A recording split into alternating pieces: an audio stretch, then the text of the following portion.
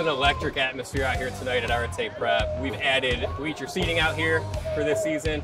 Uh, we've got a newly wrapped scoreboard with some great audio coming out of it. Number nine, Michael, here.